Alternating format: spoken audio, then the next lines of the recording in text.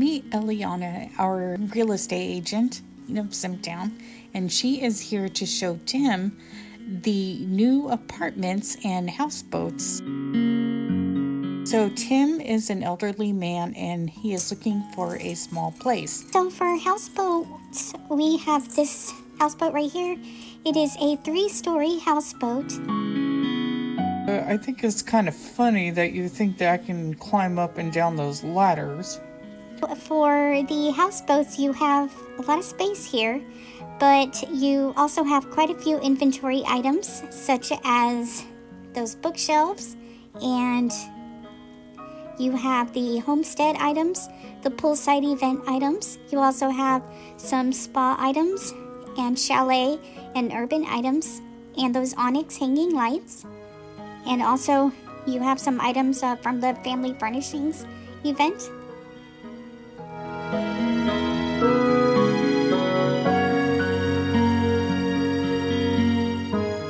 Also upstairs you are going to find the gray stools and the beige grill. For houseboat 2, you again have a five-story houseboat actually, and you have the villa and chalet items, and you have the garage items, and you have that black fridge, and a piano, and also you have that espresso machine and that tea maker.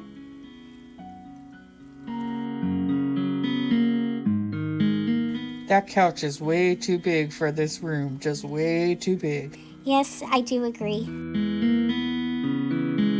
But as you can see, you do have a few inventory items. So if you are completely new here, this would be a good house to get. And also, we do have that water cooler and some infant items. And,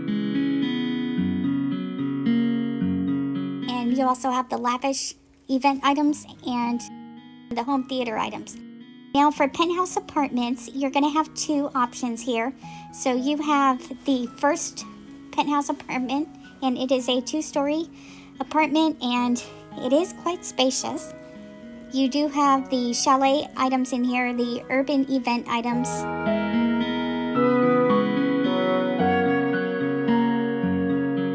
I think these walls are glitched. Stone and log fireplace. And you also have the piano.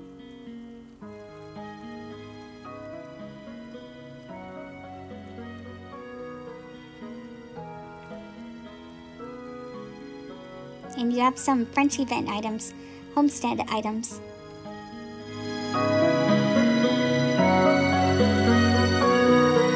As you can see, there is quite a bit in here.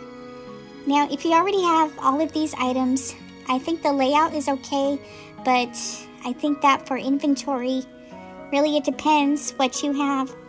But I think that there could be other options.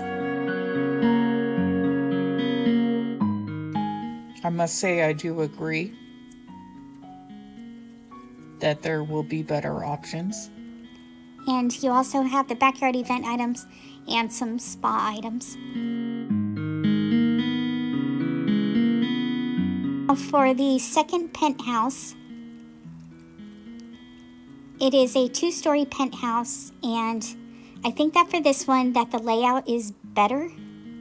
But for inventory items, you have some backyard items, some chalet items, homestead items, and you also have some garage items, some laundry event items.